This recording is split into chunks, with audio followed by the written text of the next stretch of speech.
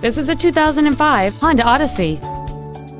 It has a 3.5-liter six-cylinder engine and an automatic transmission.